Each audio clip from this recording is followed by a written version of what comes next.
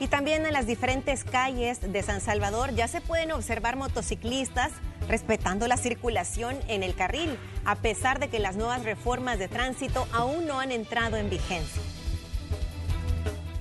Conductores de motocicletas ya se encuentran respetando desplazarse en el carril.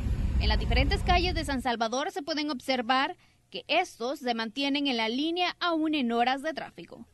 Ojalá que fuera así, va, que empezaran a, respetar ya las nuevas leyes que vienen, vea, porque ahorita muchos motociclistas abusan de, la carretera, pues, y, solamente se le tiran a uno y uno tiene que ver cómo se los quita para no golpearlos. Y si uno los golpea, siempre uno es el culpable que va manejando el vehículo. Está muy excelente porque así, tal vez así los conductores tal vez respetan, porque hay muchos conductores imprudentes que aún con las leyes que estaban así, vigentes no respetaban y tal, tal, vez hoy que ya hicieron esa, reforma, tal vez así sí, sí respetan, porque ya les va a afectar más el bolsillo como antes que eran menos.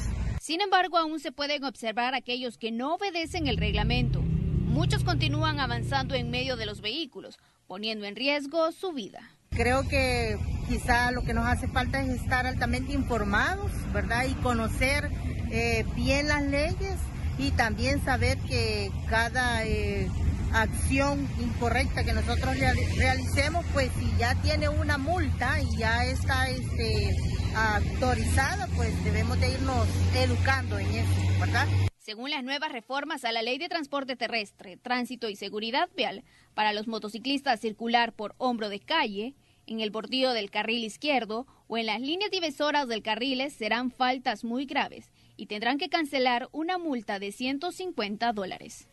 Carla Araniva, Noticiero Hechos.